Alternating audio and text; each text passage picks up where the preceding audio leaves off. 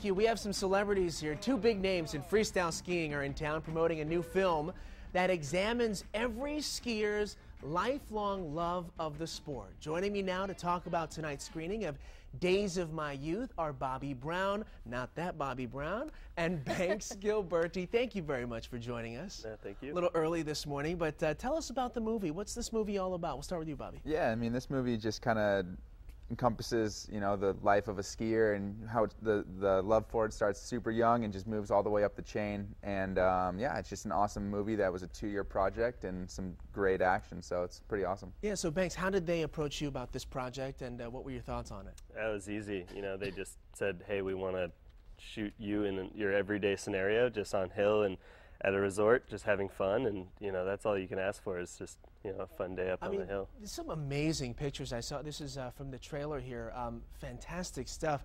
How do you get into this? I mean, you, you know, because there's images of kids getting started, but uh, I mean, how do you start?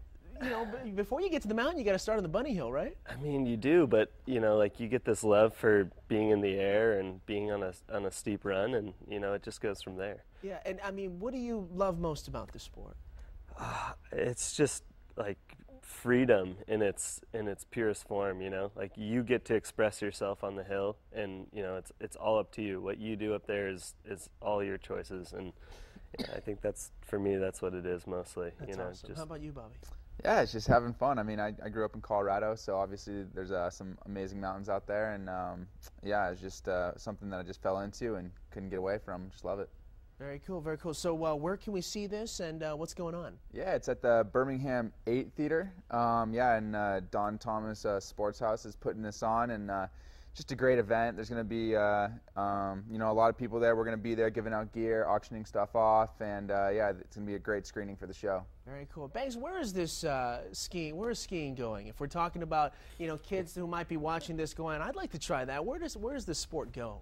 um, you know it's it's moving up it's moving up quickly. There's a lot of people getting into it especially with all the hills around here like they're catering a lot to the to the young kids and with with the terrain parks and everything. And so you know we'll we'll see where it goes. It's hard to it's hard to say right now but i think that you know it's it's moving in a good direction Yeah, and the film doesn't necessarily chronicle your lives. This isn't like Hoop Dreams where you guys were like starting Right. out. Right? This is co- more of a reenactment then. Yeah, totally. So uh, in my particular segment, it starts with a little kid, moves up to the next generation, next generation, and then to the final product of uh, us sessioning a jump in my home resort in Breck. Very cool. Yeah. Very cool. The film is Days of My Youth. Thanks for joining us this morning, Thank guys. you. Thank All you. right, next this morning, we love